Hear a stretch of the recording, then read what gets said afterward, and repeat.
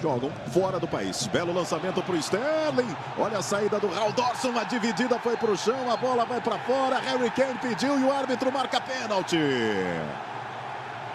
Marca pênalti. Damires Comina.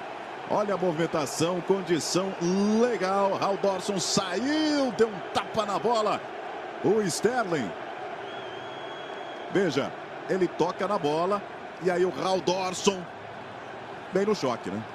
Não dá para evitar, acontece o choque. Paulo César. É claro que não havia intenção do Haldorson, mas na saída ele deixa a perna e o Starling, num grande lançamento do Sturridge, vai, consegue a Inglaterra um pênalti logo no começo do jogo, que se convertido vai dar mais tranquilidade à equipe inglesa. Quem vai bater é o Wayne Rooney. O maior artilheiro da história da Inglaterra com 52 gols, Wayne Rooney. Pode colocar a Inglaterra na frente logo no início da partida.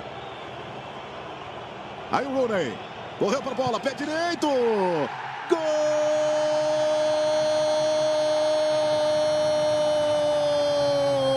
Wayne Rooney.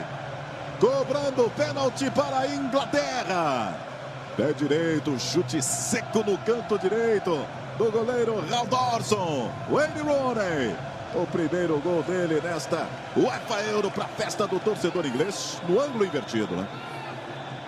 O Sterling toca na bola.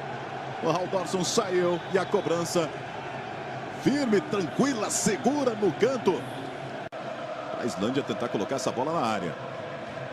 Rooney na marcação e o desvio de cabeça. Chance! Gol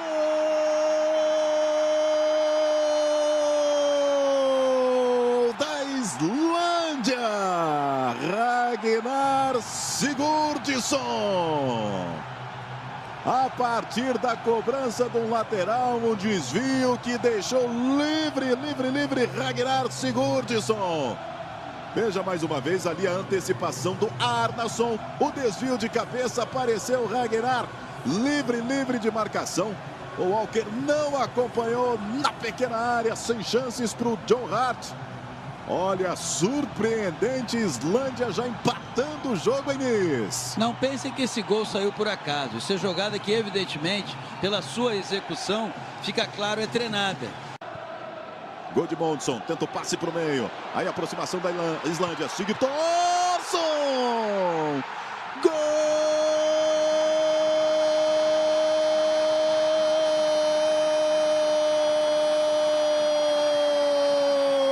da